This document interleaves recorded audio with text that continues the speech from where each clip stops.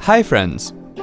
Smart folders use search to automatically gather files by type and subject matter and are updated automatically as you change, add, and remove files on your Mac.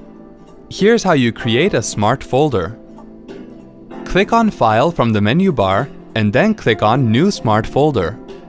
To search for files on a particular topic, type the topic in the search box. Choose the location where you want to search for files. This Mac option searches the entire computer. All My Files searches the All My Files folder. You can choose whether the search should include only the names of files or their entire contents. As you type in the search field, a menu appears. Select the appropriate option. To search for additional specific attributes, click on the Add or Plus button below the search field. Search attribute pop-up menus appear.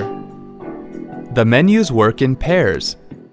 For example, to search for images, you would choose Kind from the pop-up menu on the left, and then choose Image from the pop-up menu next to it. Select the file format of your search. Click Save, and then specify a name and location for your smart folder. If you don't want your smart folder to be in the sidebar, deselect Add to Sidebar.